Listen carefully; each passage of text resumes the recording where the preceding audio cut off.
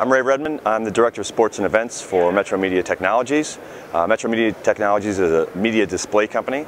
We work in the outdoor advertising field and we do a lot of work for the sports and events market as well. Yeah, I think what we're trying to do at MMT Sports and Events is take what we know from the advertising side of things. A lot of us have had a great deal of experience in media and marketing and branding is huge, especially for even high schools these days, but colleges certainly, everybody wants to look the part. You know, when you're trying to recruit the best talent from around the country and the students come onto campus, they want to look and feel like they're a part of something that is special.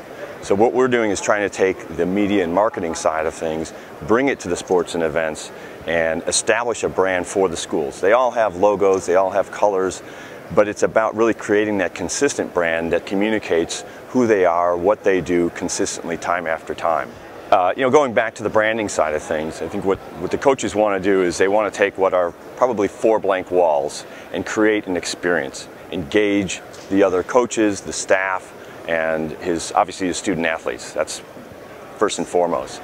And what we can do with that coach is really kind of pull out of them. I mean, these guys are they're excellent. They're, they're athletes, they're trainers of athletes, developers of athletes, but they're not necessarily branding people. We are. So what we do is work with those coaches to understand what their brand is, you know, where they're trying to go, what's the message they're trying to communicate, right from the visual, whether it's a static graphic, whether it's some of our LED materials for uh, video walls, could be any of these things. Until we get a chance to talk to them and bring that out and really create a creative brief, you know, they're not sure what it's going to look like. They just want it to look cool. Well, cool to you and cool to me could be something totally different. We got to make sure that it's it's on brand for that school. It's on message for what that coach is trying to achieve. So the creative briefing process is huge for us. And from there, we can then take a look at creating a visual experience, design mock-ups, etc., and then carry it all the way through to execution and delivery. And that's really what sets us apart from some of the other companies that are out there is we, we really go soup to nuts. I like to say we give the customer one throat to choke.